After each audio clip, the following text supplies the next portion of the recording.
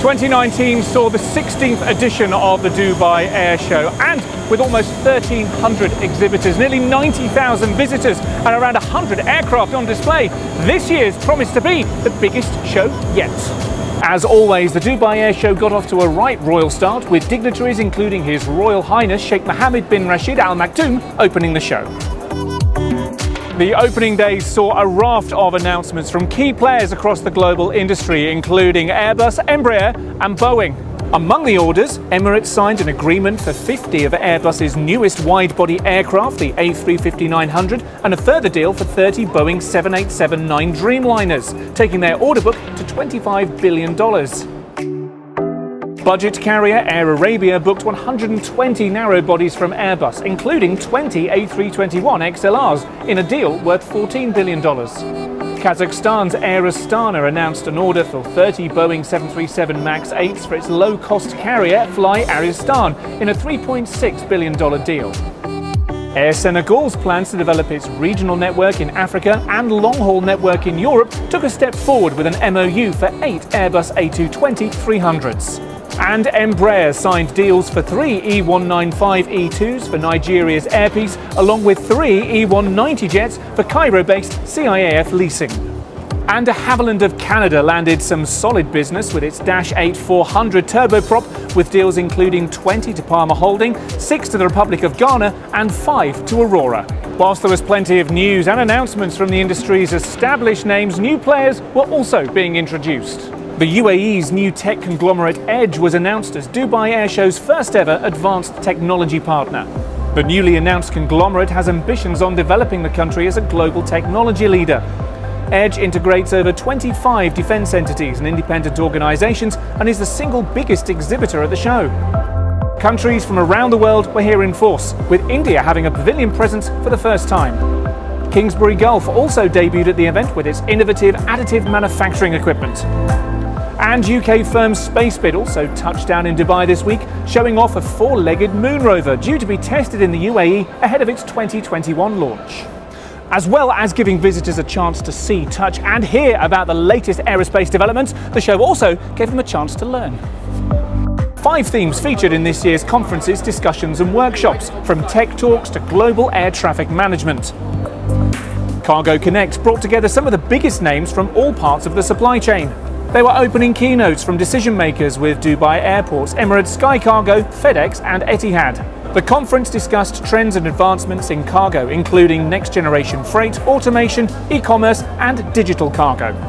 It's a much needed event that brings together the entire industry from, uh, from cargo forwarders, from agents, integrators, everybody who's interested in the cargo business and the entire supply chain really. 2019 has been an exciting year for the UAE space industry. In September, astronaut Hazza Al Mansouri became the first Emirati to reach space, carrying out research on microgravity across eight days at the International Space Station. Two years ago, I was here participating as a F-16 uh, solo pilot air show. I was uh, seeking and asking about space and I approached uh, Mohammed bin Rashid Space Center and asked them about this program, UAE Astronaut Program, and how they will start and uh, what's the objective behind it. And uh, I'm definitely uh, honored today, after two years, to be here again, but uh, as an astronaut. Back on Earth, the UAE formed the Arab Space Cooperation Group. Joining forces with 10 Arab countries, including Saudi Arabia, Egypt, and Jordan, the group's shared goal is to advance the region's space industry. And the Dubai Air Show unveiled its new space pavilion with two dedicated conferences launched with the UAE Space Agency to inspire bright young stars to the evolving sector. Two former astronauts were among the speakers who shared their experiences. Claudie Haigneré from the European Space Agency encouraged women not just to reach for the skies, but beyond at the Women in Space conference. Your Emirati astronauts, they are so representative of this uh, young spirit and the new generation. That's uh, really a good match to have Women in Space Conference and in the world and this young, young generation. And Apollo 15 command module pilot Colonel Al Worden, one of only 24 people to have flown to the moon, launched a scholarship award in his name, encouraging Emiratis to participate in space exploration and STEM topics. Rotary flight was another highlight with aircraft from Bell, Leonardo, Sikorsky and AgustaWestland at the show. Saudi Arabia introduced its first commercial helicopter operator. Launched earlier this year, the helicopter company has backing to the tune of $150 million from the country's public investment fund and will cater for the emerging demand in luxury tourism and improve urban aerial transport between Saudi cities. Russian Helicopters unveiled its twin-engine Mi-38 helicopter. The 15.6 metric ton rotorcraft made its debut at the show, demonstrating its maneuverability during the flight program and its luxury cabin configuration. The UAE's Tawazun announced it's to take a 50% stake, worth around 400 million euro, in Russian helicopter subsidiary VR Technologies. Another deal sees Pratt & Whitney supply the engines for the Russian firm's upcoming VRT 500 city-friendly light helicopter. And a new helipad and terminal for Expo 2020 Dubai was unveiled by Leonardo and Falcon, and it could showcase the very first AW609 tilt rotors.